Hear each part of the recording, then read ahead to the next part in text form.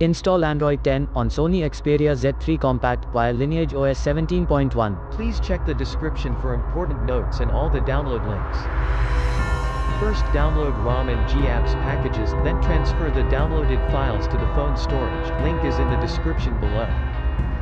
Step 2. Boot your device into TWRP Recovery. Once in TWRP, click on Wipe, Advanced Wipe, and select the checkboxes,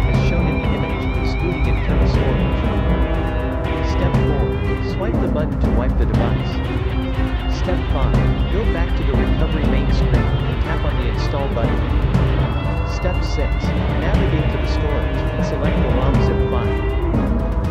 Step 7. Finally, swipe the button on the screen to install ROM file. Step 8. Flash the GApps zip package in the same manner. Step 9. After GApps flashing completes, select Wipe Cache and Dalvik side of screen, and swipe to wipe. Step 10. When the flashing process is complete, hit Reboot System. That's it, you have successfully installed the ROM on your device.